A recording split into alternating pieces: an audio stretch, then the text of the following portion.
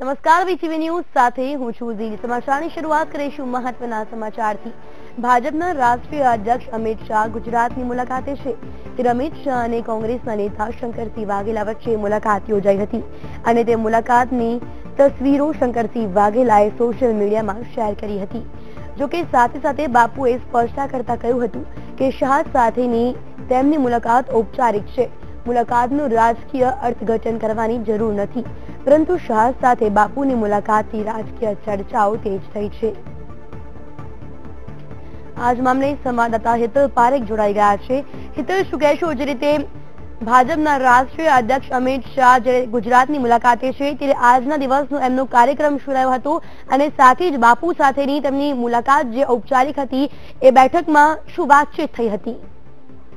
જી ખાસ કરીને જોવા જઈએ તો આજે ભાજપના રાષ્ટ્રીય અધ્યક્ષ અને ગુજરાત વિધાનસભાના ધારાસભ્ય અમિત શાહની જે ગુજરાત મુલાકાત છે, એમાં તેઓ સવારે અગિયાર વાગ્યાની આસપાસ વિધાનસભા ગૃહમાં આવ્યા હતા અને ત્યાંથી સીધા જ તેઓ વિધાનસભા ગૃહમાં પ્રવેશ્યા હતા, જેમાં બિન સરકારી સંકલ્પમાં પાંત્રીસથી ચાલીસ મિનિટ સુધી એ તેઓએ પોતાનું પ્રવચન આપ્યું હતું, જેમાં જોવા જઈએ તો તેમના ભૂતકાળના પોતાના સ્મરણોને વાગોડ્યા હતા. સાથે સાથે આવનાર સમયમાં, એટલે કે બે હજાર સત્તરની ચૂંટણીઓની નો ઉલ્લેખ કર્યા વગર તેઓએ સ્પષ્ટ જણાવ્યું હતું કે બે હજાર સત્તર પછી પણ ગુજરાત વિકાસ કરતો રહેશે અને તે પણ મુખ્યપ્રધાન વિજય રૂપાણી અને નીતિન પટેલની આગેવાની હેઠળ આ આખો વિકાસનો દોર છે એ ચાલુ રહેશે. સાથે સાથે બીજી મહત્વનો મુદ્દો એ છે કે કચ્છી વિઝિટ તરીકે વિરોધ પક્ષના નેતા શંકરસિંહ વાઘેલાને તેઓ સામે ચાલીને મળવા ગયા હતા અને સ્વાભાવિક છે કે આ મુલાકાત બે દિગ્ગજ નેતાઓ વચ્ચેની આ મુલાકાત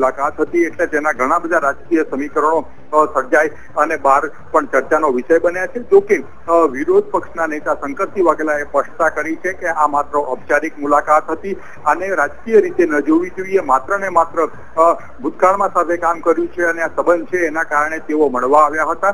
સાથે સાથે જે આ બેઠક હતી, એ બેઠકમાં ઔપચારિક જ ચર્ચા વિચારણા થઈ છે. આ દરમિયાન મુખ્યપ્રધાન વિજય રૂપાણી ભાજપના પ્રદેશ પ્રમુખ જીતુ વાઘાણી અને મંત્રી પ્રદીપસિંહ જાડેજા હાજર રહ્યા હતા અને આ બેઠકમાં ઔપચારિક રીતે મુખ્યપ્રધાનની હાજરીમાં શંકરસિંહ વાઘેલાએ પણ પૂછ્યું હતું કે ગુજરાતના ઇલેક્શન ક્યારે આવશે ત્યારે સહજતાથી જ અમિત શાહે જવાબ આપ્યો હતો કે તેના રૂટિન કાર્યક્રમ પ્રમાણે ગુજરાતનું ઇલેક્શન આવશે?